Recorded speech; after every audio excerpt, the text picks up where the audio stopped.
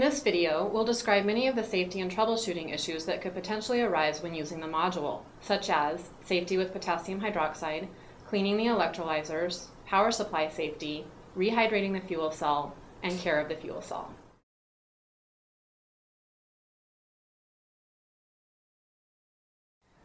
The 2 molar potassium hydroxide used in the electrolyzer is a strong base and corrosive. It is harmful if swallowed and can cause severe eye and skin burns, as well as severe digestive and respiratory tract burns.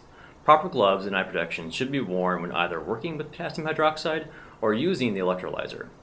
Potassium hydroxide is not compatible with polycarbonate plastic and should only be stored in compatible containers such as polypropylene, low-density polyethylene, high-density polyethylene, or glass.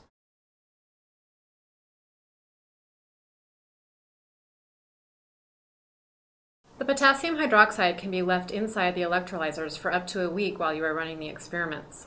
When you are finished, you can either dispose of the electrolyte down the drain while flushing with plenty of water, or store the electrolyte in a suitable container for later use. After removing the electrolyte, be sure to thoroughly rinse the electrolyzers, gas supply tubes, and valves several times with water. Let them air dry before storing them.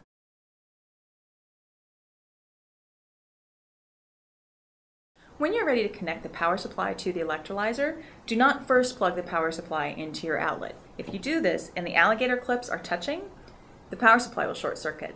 Instead, first attach the red alligator clip to the red electrode on the electrolyzer, then attach the black alligator clip on the black electrode.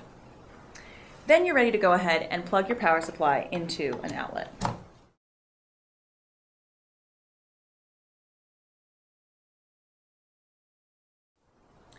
Fuel cells operate best when they have a certain moisture content. Occasionally, you may have to rehydrate a fuel cell that has dried out. In order to do this, take the squeeze bottle that came with your kit and fill it full of distilled or deionized water. Do not use tap water. Insert the end of the squeeze bottle into one of the ports in the fuel cell and squeeze in a few drops of water.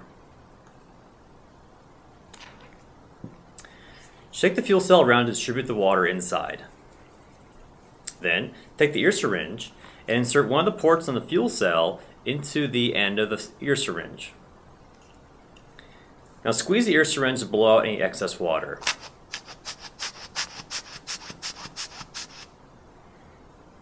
Now perform the same procedure on the other side of the fuel cell as well to rehydrate it.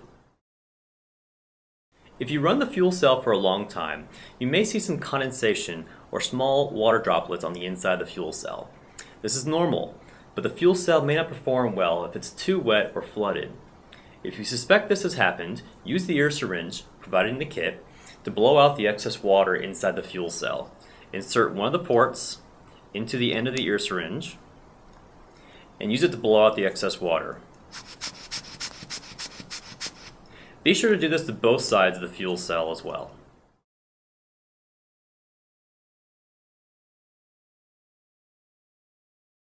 The most important thing to remember when using the fuel cells is to not get any of the potassium hydroxide from the electrolyzer inside the fuel cell. If this does happen, the fuel cell will be destroyed. This can happen when you allow the fuel cell to run for too long. As the fuel cell consumes the hydrogen gas, the level of potassium hydroxide in the electrolyzer increases. If left unattended, the potassium hydroxide can be drawn up into the gas supply tube and into the fuel cell. We recommend that you not let the level of potassium hydroxide rise above the zero mark on the electrolyzer. Also, we recommend that you disconnect both gas supply tubes from the fuel cell, so this cannot happen. Even if the electric motor is not connected to the fuel cell, the fuel cell will continue to consume hydrogen and oxygen gases to maintain its voltage. For more information about the curriculum, please visit SEPUP's website or LabAIDS, our publisher, at the following addresses.